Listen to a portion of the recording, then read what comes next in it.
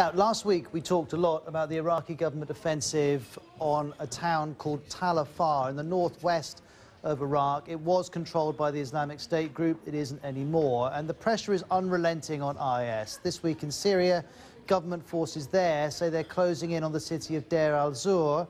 Half of it and much of the surrounding province is controlled by IS.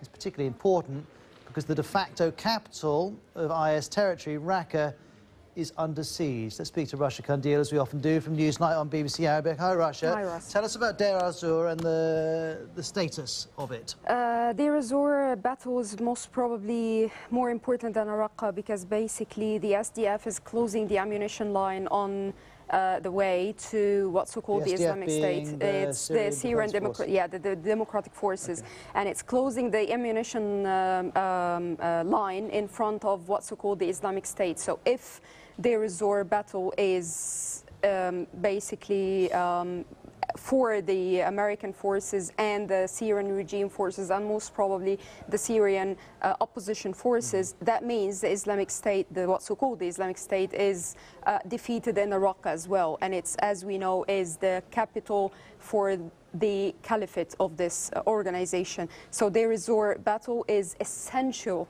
uh, in front of the organization as well, the group, the what's so-called the Islamic State. So we're in this strange situation where different countries and different groups who don't agree on lots of things are all fighting the same enemy. Absolutely right. And uh, Deir al-Zur specifically is very um, uh, important for all the parties, but it's very partitioned. So uh, from the west, for example, it's very important for the senior for the Syrian regime. For from the east, it's important for the um, backed uh, opposition by the umbrella of the uh, um, uh, Amer American um, uh, umbrella um, air force.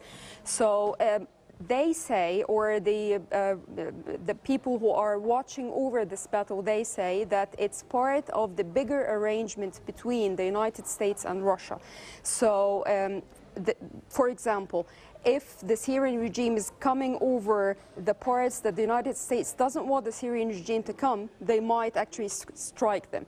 And if the opposition is going towards a little bit towards the west, where it becomes the um, uh, south of Syria, when it becomes Daraa, so it's it belongs a little bit to the territories where um, uh, Jordan in, in the south is affected, they might actually um, uh, strike the opposition. So it's a bit weird situation. Do you remember when we were talking about um, uh, uh, parts of uh, Madaya siege when the, the humanitarian situation was catastrophic a few months ago? We were saying that if the arrangement between the United States and Russia becoming complicated in the south, this is actually southeast.